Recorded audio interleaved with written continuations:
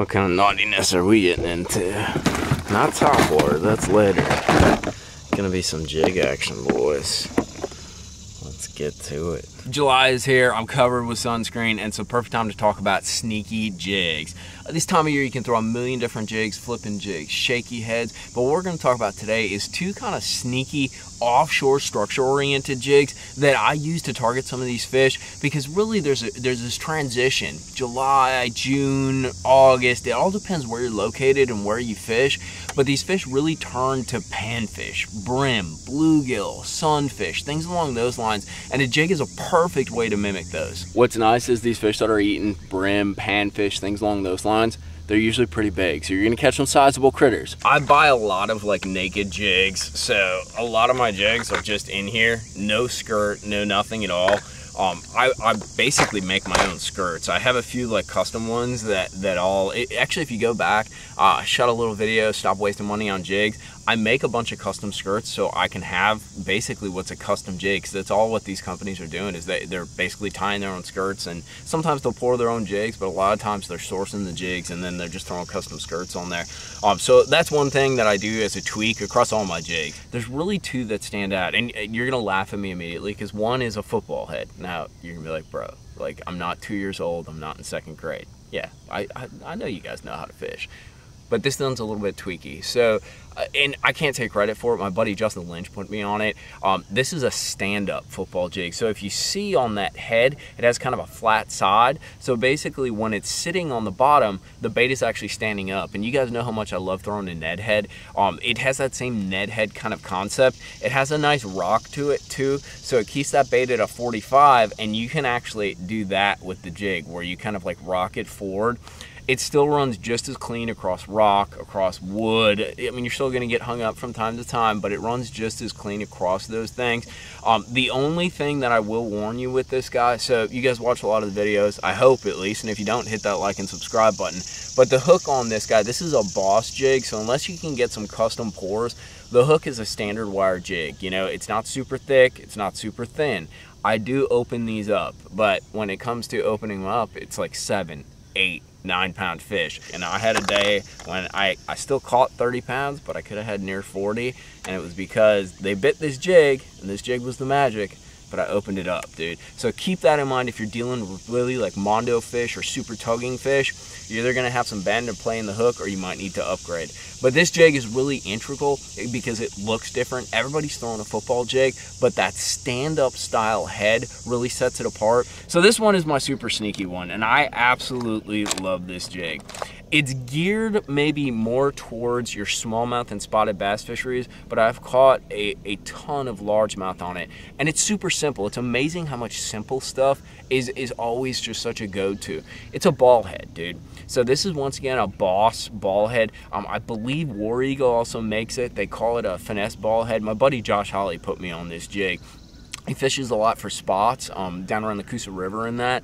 And basically, it's it's a simple ball head jig. It's much like you'd imagine like a shaky head or a traditional old school ball head. The trick with this, guy is it has a little statter hook. You know, this time of year, you're putting a bit bigger trailer on the fish tend to fight a bit harder because the water temps are up. I like that stout hook. It's kind of a mag hook, but at the same time, I can throw it on 15 pound, 17 pound fluorocarbon and still set the hook. Has a pretty stout brush guard too, especially compared to some of your smaller ball heads.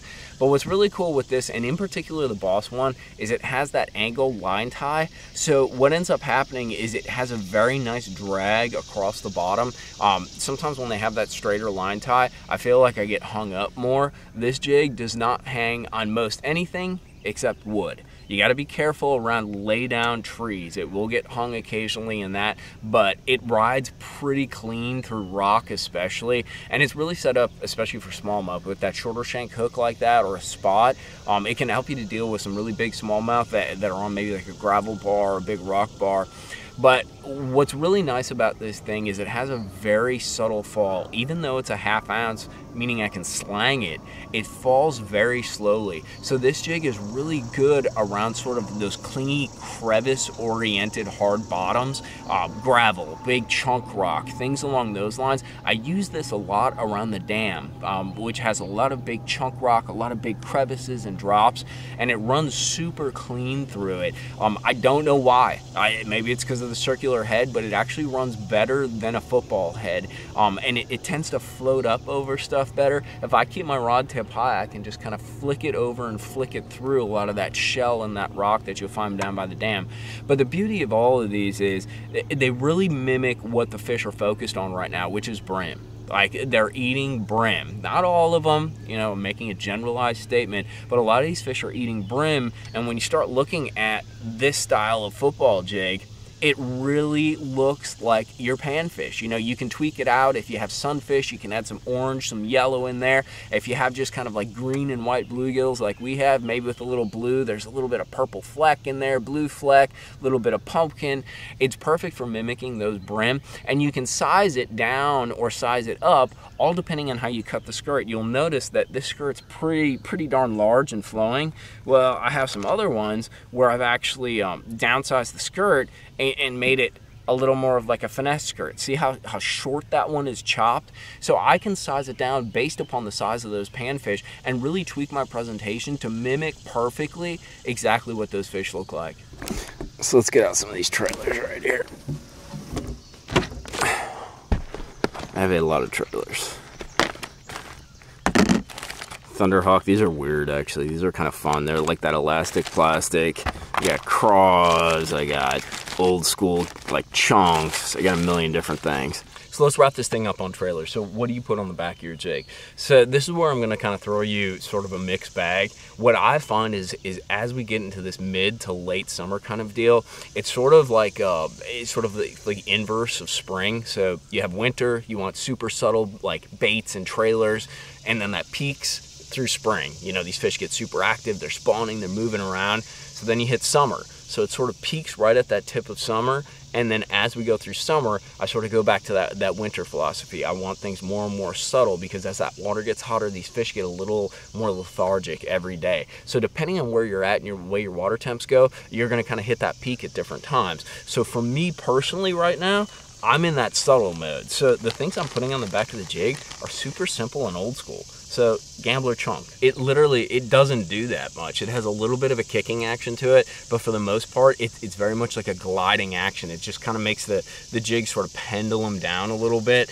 I like that because I don't want to be super disruptive. I don't want it to, to do a bunch of kicking. Three weeks ago, I'd want it to be going I know how much you guys like my sound effect. I wanted to move a lot more. So three weeks ago, I'd have been doing something like, you know, like a rage crawl or a burner crawl, something with some, some kicking style appendages. So as that jig is either moving over cover or penduluming down, it's got some added kicking action. Another little one that I like to do that's a little bit sneaky is you guys know um, Rage Tail and the Menace. Um, it's a great way to kind of bulk up a jig and, and still have some kicking action, but be subtle about it. So it's got that sort of grub style body, which is perfect for threading up the jig, but it's got two little kickers, but they're very, they're very tight, very subtle. It has a very soft kind of vibration to it, a very kind of like tight little kick. Um, I like that because it it's sort of moderate. You know, it's perfect for these transitional times as we get super hot. It's a perfect way to put a little bit of kick, a little bit of action on the back of the jig, but not overpower it. One of my favorites is this guy right here. We talked about mimicking brim. This is a Mega Daddy, but basically any big crawbait with some big paddles on it. What's really cool with these guys is yes, they do kick a bit, but it's not like a like a like a ribbon tail style kick. So basically, these will kind of wave in the water versus like the, the kicking appendages, like on a, on a burner crawl, rage crawl, things along those lines, that actually do some kicking. These guys just kind of flow back and forth and wave in the water, but it's a great way to bulk up so one of the stinkiest jig trailers I do is what I call a wacky jig. Um, it's it, I've been doing it for years. I think I put up the first video on this in like 2014 or something like that. Uh, I'm not saying I'm the one who originated it. I'm sure there's some old guy like in the middle of nowhere is like I did that, you know. So, but it works, and it's the dumbest looking thing ever. The one thing I'll tell you though is you need the right kind of stick bait in order to do it. I like doing it with a Damiki Stinger or a Gambler O-Beast if you have some bigger fish. It's a little bit bulkier, but your plastic needs to be semi, I wouldn't call it stiff, but it needs to have some spring to it. You cannot do this with just your standard stick bait or something like that. Do not do it with a Senko. A Senko is like the worst because it's super soft. It doesn't doesn't twitch because you got to get that right action. If you guys remember back that, that MLF tournament out here in Guntersville, so they're catching a bunch of fish that were near brim beds or near bluegill beds on a wacky rig. A wacky rig is one of the best ways to mimic brim.